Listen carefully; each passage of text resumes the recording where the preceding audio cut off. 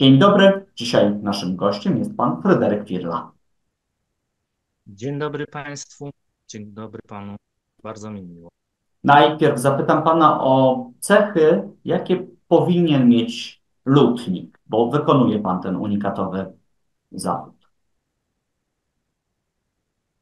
Mm, Na pewno y, nieodzowną cechą jest cierpliwość, umiejętność skupienia uwagi, Mhm. wytrwałość, mm, taki, taki zmysł trochę jak y, detektywistyczny, bo czasami trzeba podejść do instrumentu, odkrywając, y, co twórca miał na myśli.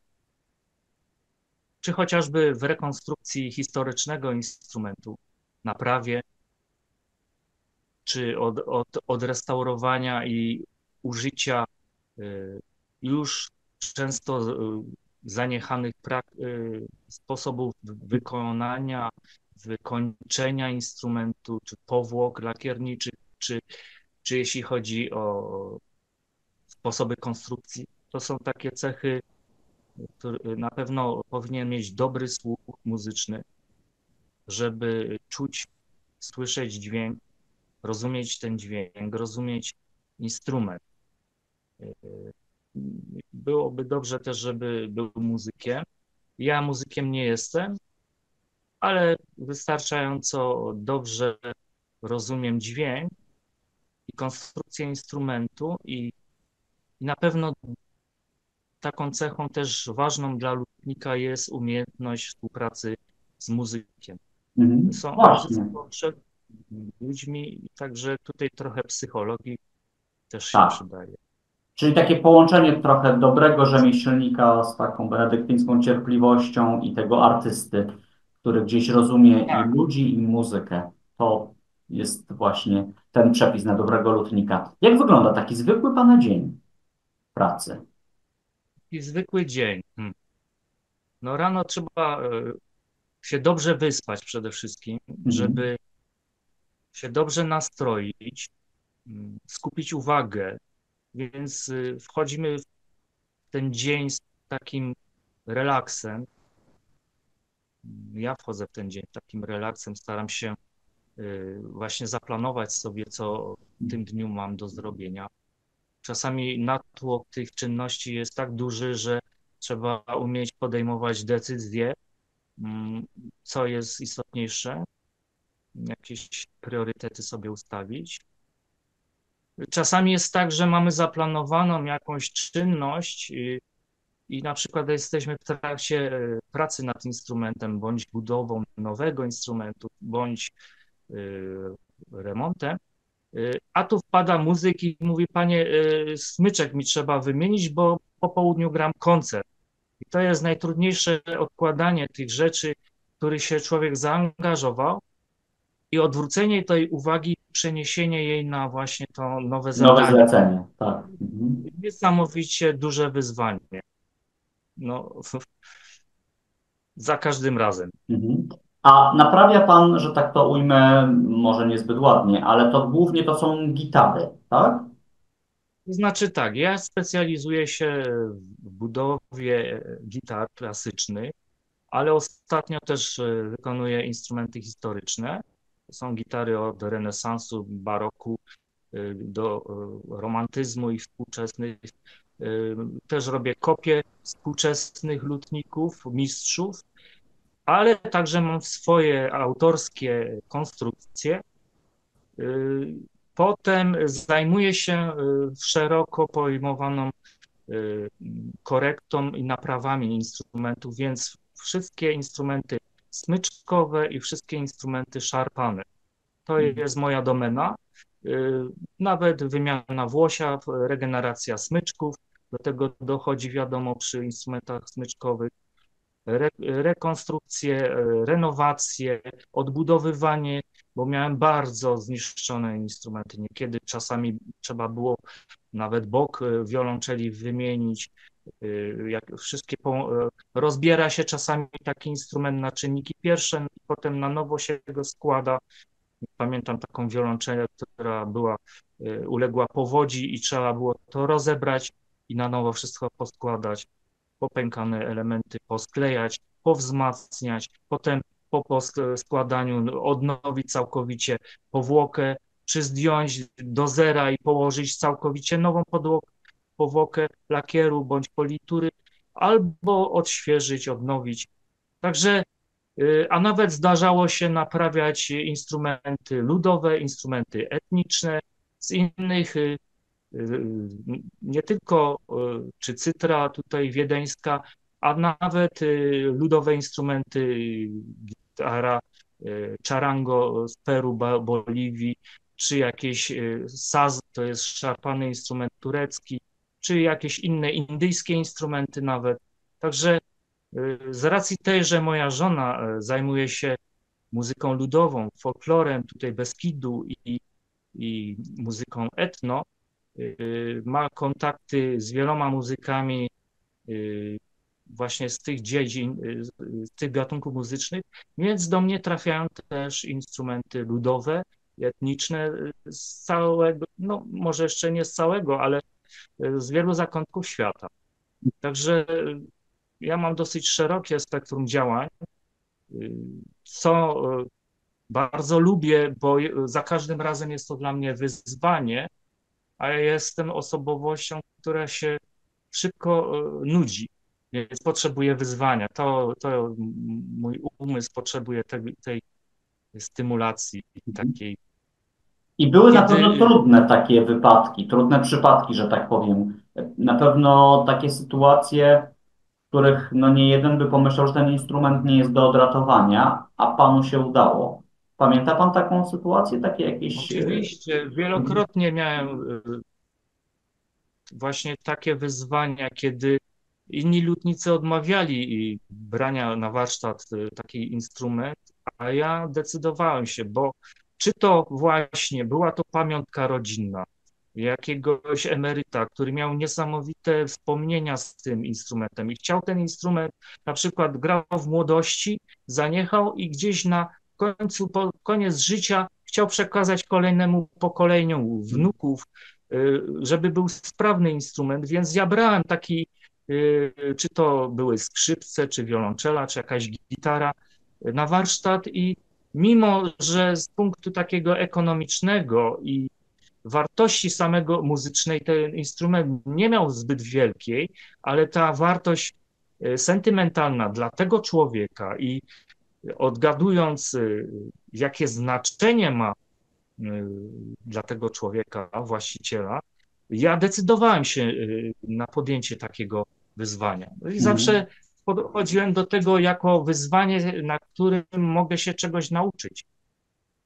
I myślę, że to był mój sukces, że nie bałem się tego, dlatego dzisiaj jestem tak wszechstronny.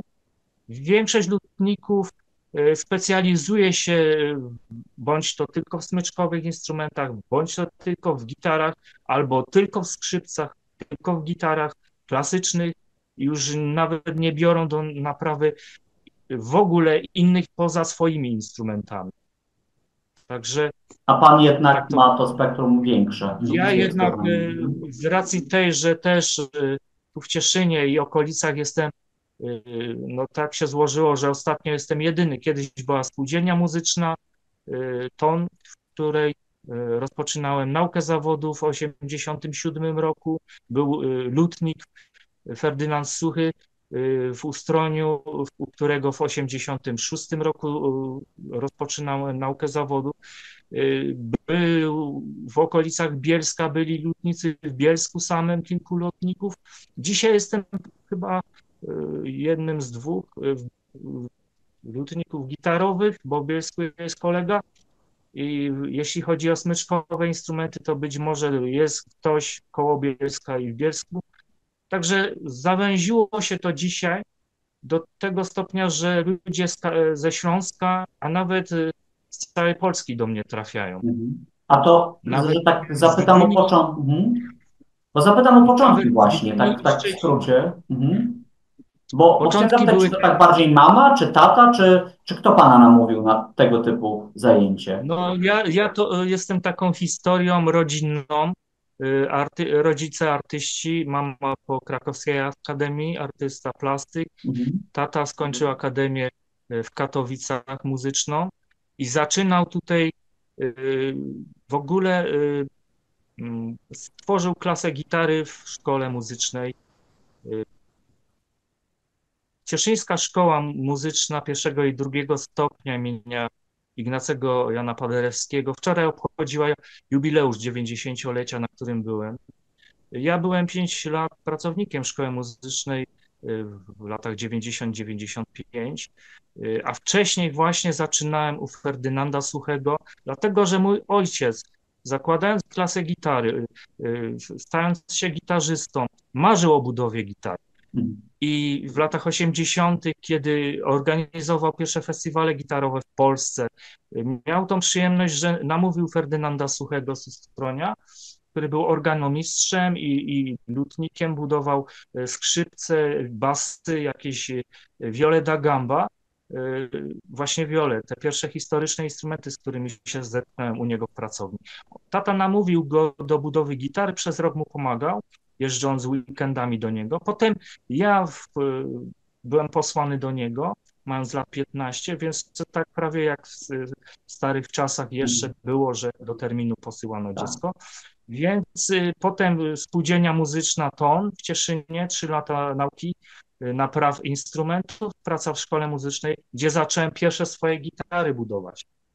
Pierwsze w ogóle budowaliśmy z kolegą, wnukiem tego Ferdynanda przez rok. Ja jeździłem tak jak mój tata do Suchego, tak ja jeździłem do Tomka Kaweckiego do Ustronia.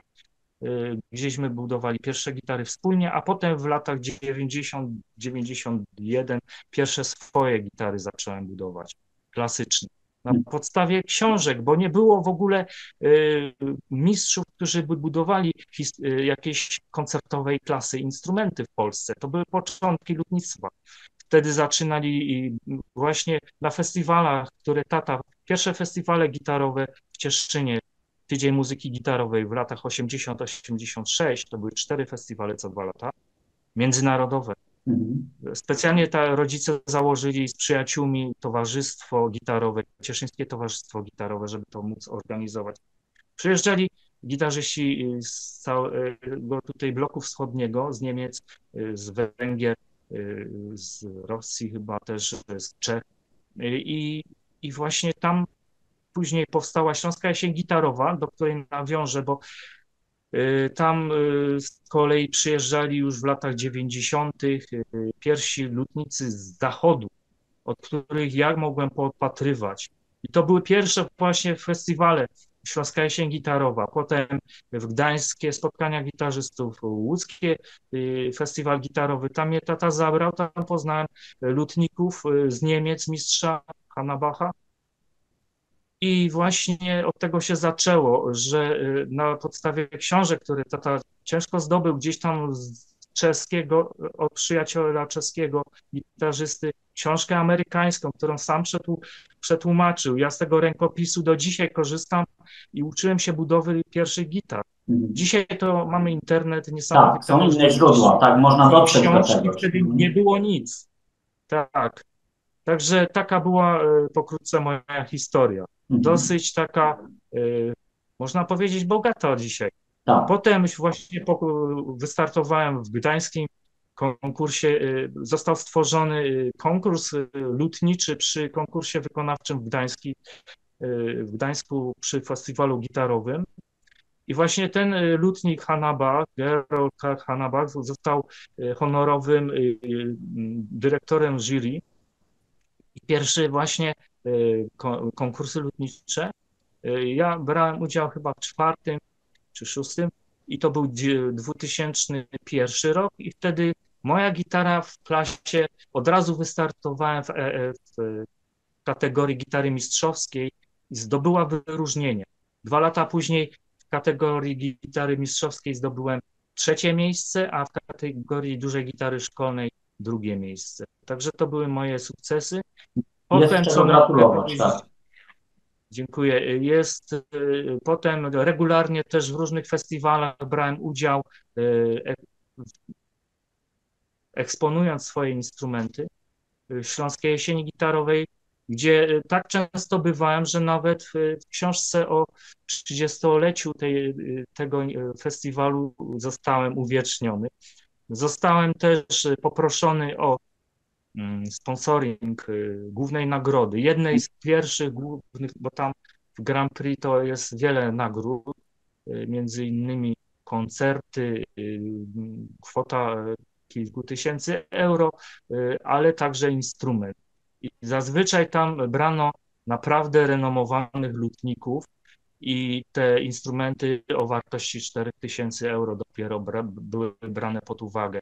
Także poproszono mnie w 2014, żebym był sponsorem takiej nagrody. To oczywiście wolontariacko.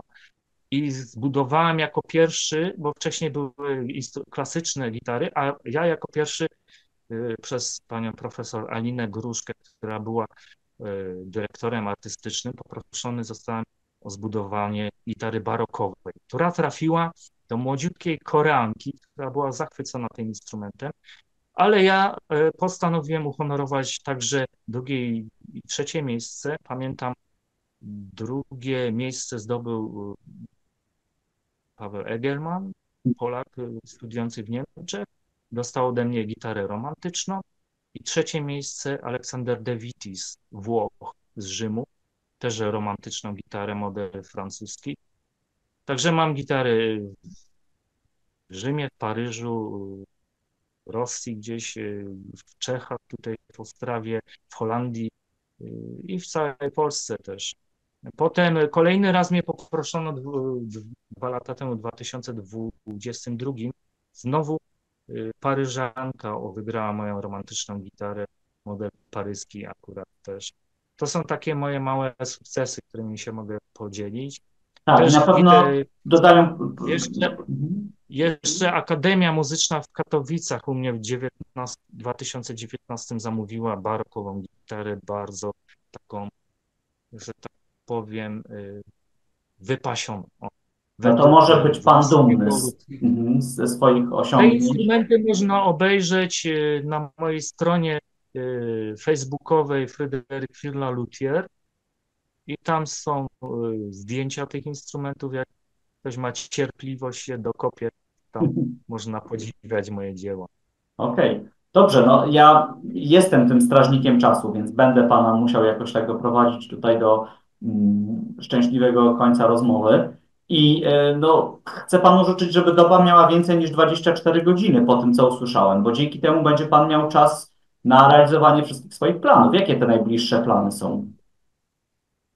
Najbliższe plany. Jestem w trakcie realizacji pięciu e, instrumentów romantycznych, dwa modele, e, jeden model paryski, a w zasadzie tam są dwa modele w, w trzy egzemplarze i y, jeden z tych instrumentów y, ma trafić do profesora Polaka, który mieszka y,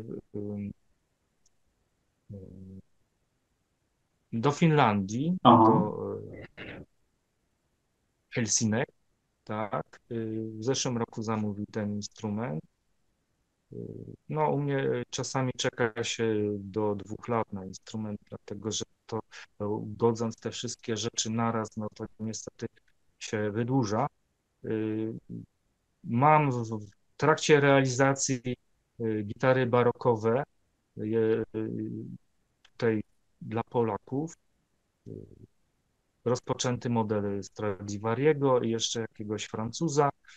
Także mam kilkanaście gitar klasycznych rozpoczętych, które czekają na swoją kolej, więc jestem proszony o budowę instrumentów etnicznych, co też mnie bardzo fascynuje z racji mhm. tych wyzwań, nowych rodzajów brzmień, nowych dźwięków. To, to jest, są, ja jestem poszukiwaczem dźwięku, więc bardzo y, ekscytuję się, kiedy mogę y, usłyszeć coś nowego. Sam też lubię eksperymentować, tworzę swoje konstrukcje.